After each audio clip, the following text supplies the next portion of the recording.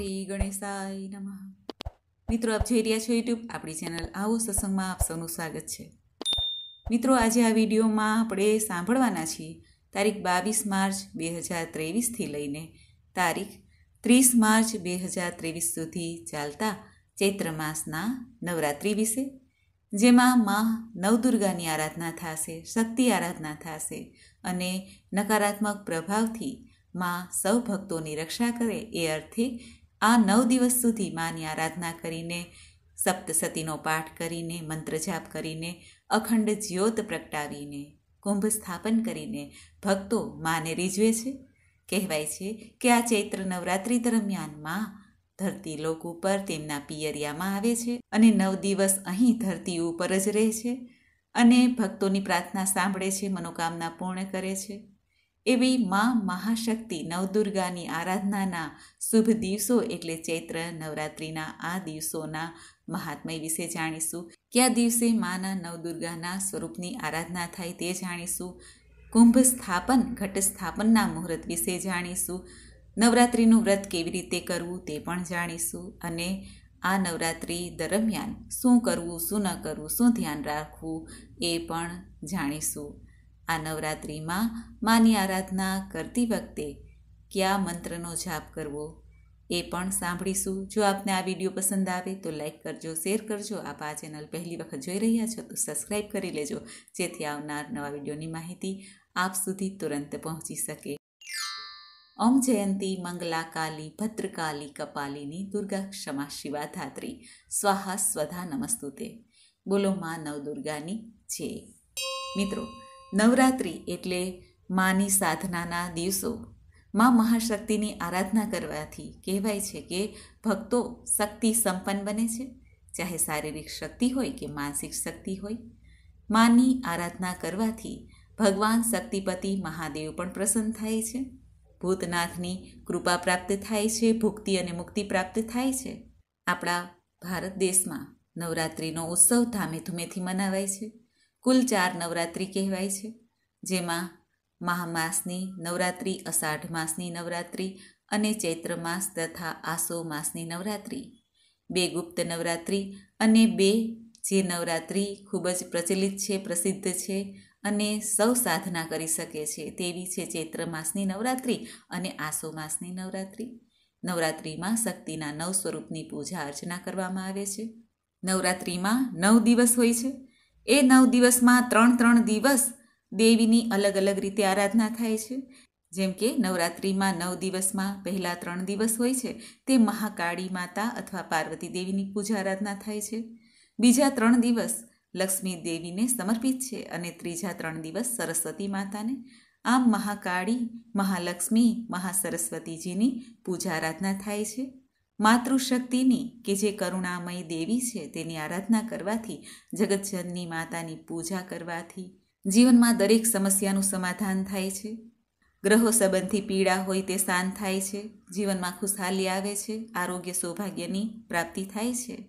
સૌપ્રથમ ચૈત્ર માસ નવરાત્રિ આરંભ ક્યારે થાય છે? ક્યારે કુંભ સ્થાપન કરવું જોઈએ તે વિશે જાણી લઈએ. આપણા હિન્દુ પંચાંગ અનુસાર ચૈત્ર માસના શુક્લ પક્ષની પ્રતિપદા તિથિનો પ્રારંભ થાય છે. તારીખ એકવીસ માર્ચ બે હજાર ત્રેવીસ મંગળવારની રાત્રિએ દસ ને બાવન મિનિટે, જે આ ચૈત્ર પ્રતિપદા એટલે કે પ્રથમ તિથિ પૂર્ણ થાય છે. તારીખ બાવીસ માર્ચ બે હજાર ત્રેવીસ બુધવારે રાત્રે આઠ ને વીસ મિનિટે. સૂર્યોદયની તિથિ પ્રમાણે હંમેશા માની આરાધના થાય છે. એટલા માટે બાવીસ માર્ચ બુધવારના દિવસે માની આરાધના શરૂ થશે. પ્રથમ દિવસે માની પૂજામાં ખાસ કરીને ઘટ સ્થાપન થાય છે, અખંડ જ્યોત પ્રગટાવાય છે અને માના નવરાત્રિ દરમિયાન વ્રતનો સંકલ્પ પણ કરાય છે. ચૈત્ર નવરાત્રિમાં કલશ સ્થાપના તારીખ બાવીસ માર્ચ બે હજાર ત્રેવીસના દિવસે સવારે છ ને ત્રેવીસ મિનિટથી લઈને સાત ને બત્રીસ મિનિટ લગભગ આ સમય છે જે શુભ છે. આ ચૈત્ર નવરાત્રિમાં શુભયોગથી સંપન્ન હોય માટે ઘટ સ્થાપન કરતી વખતે ત્રણ શુભ યોગ છે, જેમાં શુક્લ, બ્રહ્મ અને ઇન્દ્રયોગ બને છે. આ યોગ દરમિયાન ઘટ સ્થાપન કરવું જોઈએ. આ નવરાત્રિના પ્રથમ દિવસે જ ઉત્તર ભાદ્રપદ નક્ષત્ર છે, જે શનિનું કહેવાય છે, પરંતુ તેના રાશિ સ્વામી ગુરુ છે. શનિ અને ગુરુમાં શત્રુભાવ છે. જોકે ઉત્તર ભાદ્રપદ નક્ષત્ર તે જ્ઞાન, આનંદ, સૌભાગ્યનો સંકેત દે છે. માટે પણ અત્યારે કુંભ સ્થાપન કરવું તે શુભ મનાય છે. આ ચૈત્ર નવરાત્રિના પ્રથમ દિવસે પંચક પણ ચાલુ રહે છે, એટલે કે પંચક પણ છે. અને આ પંચક દરમિયાન અમુક કાર્ય વર્જિત મનાય છે, જેમાં દક્ષિણ દિશામાં યાત્રા ન કરવી જોઈએ, છત બનાવવી ન જોઈએ, ચારપાઈ ન બનાવવી જોઈએ, સૈયાનું નિર્માણ ન કરવું જોઈએ. આ બધા કાર્યો શુભ મનાતા નથી. જે આ નવરાત્રિનું કુંભ સ્થાપન કે ઘટ સ્થાપનનું મુહૂર્ત કહેવામાં આવ્યું છે, તેમાં કલશ સ્થાપના કરવામાં આવશે. પરંતુ કલશ સ્થાપના કરતી વખતે રાહુકાલનો પણ ખાસ ધ્યાન રખાય છે. આ દિવસે બુધવાર છે. બુધવારે રાહુ કાલનો સમય છે. બપોરના બારથી લગભગ દોઢ વાગ્યા સુધીનો. આ સમય દરમિયાન કોઈ પણ શુભ કાર્ય કરવું નહીં. આ નવરાત્રિમાં અભિજીત મુહૂર્ત આપવામાં આવ્યું નથી એટલા માટે બપોરે પણ કલશ સ્થાપના થશે નહીં. કલશ સ્થાપના સવારે શુભ મુહૂર્તમાં જ કરવી જોઈએ. કલશ સ્થાપનાની સાથે સાથે જુવારા પણ વવાય છે. આ ચૈત્ર નવરાત્રિમાં માની સામે એક માટીનું કુલ્હડ લઈને તેમાં માટી છે, સપ્તધાન છે, જેમાં મગ જવ વગેરે વવાય છે. અને એવું કહેવાય છે કે જો જવની વૃદ્ધિ થાય, લીલા જુવારા ઉગે, તો સંકેત સમજવો કે માની કૃપા છે. અને નવ દિવસ સુધી હર્યા ભર્યા આ જુવારા રહે, તો ઘરમાં સુખ સમૃદ્ધિ પણ આવે છે. આ રીતે જુવારા પણ વવાય છે. હવે આપણે જાણી લઈએ કે નવદુર્ગાની પૂજા કેવી રીતે કરવી જોઈએ. માં નવદુર્ગા, કે જે મહાશક્તિ, મહામાયા, જગદંબાનું સ્વરૂપ છે, તે નવદુર્ગા છે. પ્રથમમ શૈલપુત્રી ચ દ્વિતીયમ બ્રહ્મચારિણી તૃતીયમ ચંદ્રઘંટેતી કુષ્માંડેતી ચતુર્થકમ પંચમમ સ્કંદ માતેતી ષષ્ઠમ કાત્યાયની ચ સપ્તમમ કાલરાત્રિ ઇતિ મહાગૌરી ચ અષ્ટકમ નવમમ સિદ્ધિદાત્રી ચ નવદુર્ગા પ્રકીર્તિતા આ રીતે નવદુર્ગાની આરાધના થાય છે। ચૈત્ર માસની નવરાત્રિમાં પ્રથમ દેવી દુર્ગા છે શૈલપુત્રી જેમની પૂજા થશે બાવીસ માર્ચ બે હજાર ત્રેવીસ. બુધવારે બીજા નવરાત્રિના દિવસે મા બ્રહ્મચારિણીની પૂજા થશે ત્રેવીસ માર્ચ બે હજાર ત્રેવીસ, ગુરુવારના દિવસે. ત્રીજા નવરાત્રિના દિવસે મા ચંદ્રઘંટાની પૂજા થશે ચોવીસ માર્ચ બે હજાર ત્રેવીસ, શુક્રવારના દિવસે. ચોથા નવરાત્રિના દિવસે કુષ્માંડા દેવીની પૂજા થશે પચીસ માર્ચ બે હજાર ત્રેવીસ, શનિવારના દિવસે. પાંચમા નવરાત્રિના દિવસે પાંચમા દેવી છે. મા સ્કંદ માતાની પૂજા થશે છવ્વીસ માર્ચ બે હજાર ત્રેવીસ રવિવારના દિવસે. છઠ્ઠું નવરાત્રિ, જેમાં મા કાત્યાયનીની પૂજા થશે સિત્યાવીસ માર્ચ બે હજાર ત્રેવીસ સોમવારના દિવસે. સાતમું નવરાત્રિ, કે મા કાલરાત્રિની પૂજા થશે અઠ્યાવીસ માર્ચ બે હજાર ત્રેવીસ મંગળવારના દિવસે. આઠમું નવરાત્રિ, જેમાં મા મહાગૌરીની પૂજા થશે તારીખ ઓગણત્રીસ માર્ચ બે હજાર ત્રેવીસ બુધવારના દિવસે ગૌરી પૂજન પણ થાય છે. આજના દિવસે નાની નાની બાળાઓ સાથે એક ભૈરવની પૂજા થાય છે, એક બાળકની પૂજા થાય છે. આમ કરવાથી માતા મહાગૌરીની કૃપા સદૈવ રહે છે. ત્યારબાદ નવમું નવરાત્રિ, મા સિદ્ધિદાત્રીની પૂજા થાય છે. ત્રીસ માર્ચ બે હજાર ત્રેવીસ ગુરુવારના દિવસે. આ દિવસે પણ નાની બાળાઓ તથા ભૈરવની પૂજા થઈ શકે છે. હોમ હવન થાય છે. રામનવમીનો ઉત્સવ મનાવાય છે. આજના દિવસે રામનવમીનું પણ વ્રત રખાય છે. આજના દિવસે રામજીનો જન્મદિવસ મનાય છે. મા નવદુર્ગાની આરાધના કરીને કહેવાય છે કે ભગવાન શ્રી રામે લંકાપતિ રાવણ સામે યુદ્ધમાં વિજય પ્રાપ્ત કર્યો હતો. આમ નકારાત્મક પ્રભાવથી રક્ષા માટે પણ દેવી દુર્ગાની પૂજા થાય છે. તે નવદુર્ગા છે. એકત્રીસ માર્ચ બે હજાર ત્રેવીસ શુક્રવારના દિવસે નવરાત્રિના પારણા કરવાના રહેશે, જે ભક્તોએ ઘટ સ્થાપન કર્યું છે, કુંભ સ્થાપન કર્યું છે, અખંડ જ્યોત પ્રગટાવી છે. તેઓ આજના દિવસે શુભ ચોઘડિયામાં મંગલ કરી શકશે. હવે આપણે જાણીએ કે આ નવરાત્રિ દરમિયાન માની પૂજા આરાધના કેવી રીતે કરવી? સૌપ્રથમ, જે ભક્તો નવરાત્રિનું વ્રત કરવા માંગે છે, માં નવદુર્ગાનું પૂજા આરાધના ઘરમાં કરવા માંગે છે. તેઓ નવરાત્રિના પ્રથમ દિવસે સવારે વહેલા ઉઠીને સ્નાનાદિથી પરવારીને સ્વચ્છ વસ્ત્ર ધારણ કરે. લાલ વસ્ત્ર હોય બહેનો તો તે ધારણ કરી શકે છે. લાલ વસ્ત્રનો ઉપયોગ વધુ થાય છે કારણ કે માની આરાધના છે, શક્તિની આરાધના છે, શુભ મનાય છે. આપણા પૂજા ઘર પાસે આવીને પૂજા મંદિરમાં બિરાજમાન કુળદેવીની પણ આરાધના થઈ શકે છે. તે પણ નવદુર્ગાનું એક સ્વરૂપ છે. આ ઉપરાંત મંદિરની બાજુમાં અથવા પૂર્વ દિશા તરફ એક બાજોટ ઢાળીને તેની ઉપર લાલ વસ્ત્ર પાથરીને મા દુર્ગાનું ચિત્ર અથવા ફોટો હોય, મૂર્તિ હોય તે સ્થાપિત કરાય છે. માને સોળ શૃંગારની સામગ્રી ભેટ અપાય છે.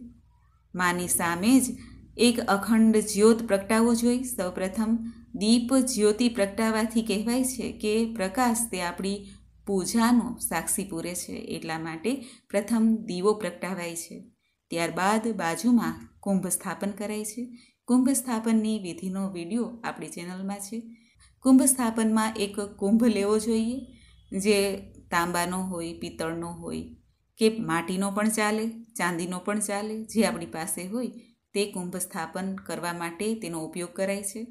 મોલી, રોલી, કુમકુમ, અક્ષત પાંચ પત્ર કે જે કુંભ સ્થાપન કરતી વખતે રખાય છે.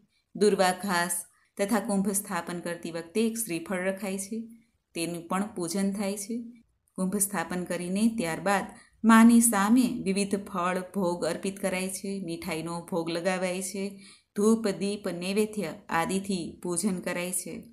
પૌરાણિક માન્યતા છે કે નવરાત્રિના પર્વમાં દેવી માતાની આરાધના કરવાથી મા પ્રસન્ન થાય છે અને ભક્તોના તમામ દુઃખ દૂર કરે છે. સુખ સમૃદ્ધિ આપે છે. જેમાં મા નવદુર્ગાના આપણે નવ દિવસ સુધી આરાધન કરશું. સવાર, સાંજ, ધૂપ, દીપ, નૈવેદ્ય આરતી કરાય છે. માનો પ્રસાદ જે ધરેલો હોય તે પ્રસાદને ઘરમાં સૌને વહેંચવો જોઈએ. ભગવતી દુર્ગાને નિત્ય તાજા પુષ્પ ચડાવવા જોઈએ. અક્ષત કંકુથી ચાંદલો કરવો જોઈએ. ચંદનનું લેપન પણ કરાય છે. ઘરના મુખ્ય દરવાજા પર પણ આસોપાલવનું તોરણ બાંધીને સ્વસ્તિક કરાય છે. નિત્ય માનો મંત્ર જપાય છે, ઓમ દોમ દુર્ગાય નમઃ, અથવા તો સપ્તસતી માનો કોઈ પણ શ્લોક મંત્ર સ્વરૂપ લઈ શકાય છે, જે આપણે નિત્ય માની આરાધના કરતી વખતે, કુળદેવીની આરાધના કરતી વખતે મંત્ર જપીએ છીએ, તે પણ જપી શકાય છે. માની સામે, ખીરનો ભોગ લગાવાય તો પણ ઉત્તમ છે. માની પૂજા આરાધના થઈ જાય પછી સંકલ્પ લેવાય છે કે આપણે નવરાત્રિનું વ્રત કરવા માંગીએ છીએ કે નહીં? અને જો નવરાત્રિનું જે ભક્તો વ્રત કરે છે, નવ દિવસ સુધી ઉપવાસ કરી શકે છે અથવા એક ટાઈમ ભોજન સાંજના સમયે લઈ શકે છે. ભોજન હંમેશા સાત્વિક રાખવું જોઈએ. લસણ, ડુંગળીનો ત્યાગ થાય છે. પછી કોઈ વ્યસનની તો વાત જ નહીં. શુદ્ધ વિચાર રાખવા. દેવી શક્તિની આરાધના તે સ્ત્રી શક્તિની જ આરાધના છે. માટે કોઈ સ્ત્રીઓનું અપમાન ન થાય તે વાતનું ધ્યાન રાખવું જોઈએ. ગરીબ ગુરબા જરૂરિયાતમંદને દાન પુણ્ય કરવું જોઈએ. આ ઉપરાંત પશુ પક્ષીને દાણા ચણ નાખવા જોઈએ, કીડિયારું પૂરવું જોઈએ. દાન પુણ્ય કરવાથી પણ જીવનના કષ્ટો કપાય છે. નવરાત્રિ દરમિયાન ખોટા વિચાર મનમાં રાખવા નહીં. દુર્ગા સપ્તસતીનો પાઠ કરવો, દેવી ભાગવત મહાપુરાણનો પણ પાઠ કરી શકાય છે. માની આરાધના કરી શકાય છે. કવચ, માના એકસો આઠ નામ છે, તે જપી શકાય છે.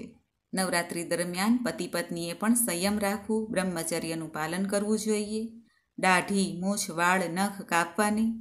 નવરાત્રિ દરમિયાન ચોખ્ખા જ વસ્ત્ર ધારણ કરવા, એટલે કે ધોયેલા વસ્ત્ર પહેરવા. નવરાત્રિ દરમિયાન ચામડાની વસ્તુ, બેલ્ટ છે, ચપ્પલ છે, સેન્ડલ છે, બેગ છે, તેનો ઉપયોગ ના કરવો. અખંડ જ્યોત જો ઘરમાં આપણે રાખેલી હોય, તો ઘરને ખાલી ન રખાય. જો ઘરના બધા વ્યક્તિને બહાર જવાનું થાય, તો કોઈને ઘરમાં રાખીને જવું જોઈએ, ઘરમાં રહેવું જોઈએ. અખંડ જ્યોત તે માનું સાક્ષાત સ્વરૂપ મનાય છે. કોઈ કારણસર બહાર જવાનું થાય, તો ભૈરવનું સ્મરણ કરવું જોઈએ અને ભૈરવ દાદાને પ્રાર્થના કરવી જોઈએ. કારણ કે માના રક્ષક છે કાળ ભૈરવ બટુક ભૈરવ. તેમને પ્રાર્થના કરીને બહાર જવું જોઈએ કે, હે દાદા, અમે બહાર કામે જઈએ છીએ, અમે આવીએ ત્યાં સુધી આ અખંડ જ્યોતનું ધ્યાન રાખજો. આ રીતે પ્રાર્થના કરવી જોઈએ. નવરાત્રિ દરમિયાન દિવસના ઊંઘ ન લેવી જોઈએ. કોઈની નિંદા કુથલી ના કરવી. ધાર્મિક શાસ્ત્રોમાં પણ કહેવાનું છે કે આ ચૈત્ર માસની નવરાત્રિ જે ખૂબ જ શુભ અને મંગલકારી છે. કારણ કે ભગવાન શ્રી રામજીનો જન્મદિવસ મનાવાય છે. ત્યારે નવદુર્ગાની આરાધના કરવાથી, પૂજાપાઠ કરવાથી ખૂબ જ શુભ ફળની પ્રાપ્તિ થાય છે. હવે આપણે જાણીએ કે મા દુર્ગાનું આગમન કેવી રીતે થાય છે. ક્યુ વાહન છે અને મા જ્યારે નવરાત્રિ પૂર્ણ થાય છે ત્યારે કયા વાહન ઉપરથી બેસીને જાય છે તેના શું સંકેત બતાવવામાં આવ્યા છે તે આપણે જાણીએ. કહેવાય છે કે ચૈત્ર નવરાત્રિની શરૂઆત જે બાવીસ માર્ચ બે હજાર ત્રેવીસ બુધવારના દિવસે થાય છે. ત્યારે મા દુર્ગાનું આગમન નૌકા ઉપર થાય છે. બુધવારે નવરાત્રિની શરૂઆત થાય છે એટલે મા દુર્ગા પૃથ્વી પર નૌકા ઉપર સવાર થઈને આવે છે અને દિવસ અનુસાર મા દુર્ગાની સવારીનું નિર્ધારણ થાય છે. ધાર્મિક માન્યતા અનુસાર ચૈત્ર માસના શુક્લ પક્ષની પ્રતિપદા તિથિ, કે નવરાત્રિનો પહેલો દિવસ છે ત્યારે મા દુર્ગા શ્રી ગણેશજી, ભગવાન કાર્તિકેય સમેત પોતાના પરિવાર સાથે પૃથ્વીલોકમાં આવે છે. પૃથ્વીલોકમાં માતા રાનીનું પિયર છે તે આપણે સૌ જાણીએ છીએ. હિમાલય હિમાલય કે જે માતાના પિતા છે, ત્યાં મા આવે છે, આ પૃથ્વી લોક ઉપર આવે છે, જ્યાં આપણે રહીએ છીએ. ત્યારે આ પૃથ્વી પણ ધન્ય થાય છે. મા પૃથ્વી ઉપર આવે એટલે ભક્તોની પ્રાર્થના, મનોરથ સાંભળે છે. સૌને સુખ શાંતિ આપે છે. દેવી ભાગવત પુરાણમાં બતાવવામાં આવ્યું છે કે નવરાત્રિના સમય અનુસાર મા દુર્ગાનું આગમનની સવારી કેવી રીતે થાય છે તે એક શ્લોક છે. જેમ કે શશી સૂર્ય ગજરૂઢા શનિ મે તુરંગ મેં ગુરવ શુક્રેજ દોલાયા, બુદ્ધે, નૌકા પ્રકીર્તિતા આ અનુસાર સૂર્ય એટલે કે રવિવારે અને શશી એટલે કે ચંદ્રવારે જો માનું આગમન થાય, તો માની સવારી હોય છે હાથી. તથા શનિવાર અને મંગળવારે જો નવરાત્રિનું શરૂઆત થતી હોય, તો માતા રાનીની સવારી ઘોડો હોય છે. સંસ્કૃતમાં ઘોડાને તુરંગ કહેવાય છે. ગુરુવારે અથવા શુક્રવારે જો નવરાત્રિનો પ્રારંભ થાય તો દુર્ગા દેવીની સવારી ડોલી હોય છે. બુધવારે દુર્ગા દેવીની સવારી નૌકા બને છે. આ વર્ષમાં ચૈત્ર નવરાત્રિ બુધવારે શરૂ થાય છે. એટલા માટે દુર્ગા દેવી નૌકામાં સવાર થઈને આવી રહ્યા છે. જ્યારે માતા રાની નૌકા પર સવાર થાય છે, તો મનુષ્ય માટે શુભ સંકેત પણ આપે છે. મા દુર્ગા દેવીની કૃપા ભક્તો ઉપર બની રહે છે. મનોકામના પૂર્ણ થાય છે. જે વ્યક્તિ પૂરી ભક્તિ ભાવથી નવરાત્રિ દરમિયાન માની પૂજા આરાધના કરે છે, તેને જીવનમાં સફળતા પ્રાપ્ત થાય છે. જે રીતે માતા રાનીનું આગમન બતાવવામાં આવ્યું છે, એ જ રીતે માતા રાનીના પ્રસ્થાનનો સમય સવારી પણ બતાવવામાં આવ્યું છે. જેમ કે, મા દુર્ગા બુધવારે આવે છે અને શુક્રવારે, એટલે કે નવરાત્રિના નવમા દિવસે મા પ્રસ્થાન કરે છે. અને તે દિવસ છે શુક્રવાર અને એકત્રીસ માર્ચ શુક્રવારના દિવસે નવરાત્રિના પારણ થાય છે. મા દુર્ગા હાથી પર સવાર થઈને પ્રસ્થાન કરે છે. હાથીની સવારી પણ શુભ સંકેત બતાવે છે. મા દુર્ગા હાથી પર પ્રસ્થાન કરે, અર્થાત સમય સારો આવશે, વરસાદ સારો થશે, અકાલ પડશે નહીં અને માની કૃપા સદૈવ ભક્તો ઉપર રહેશે. આમ તો મા ધરતી લોક ઉપર આપણને સૌને આશીર્વાદ આપે જ છે.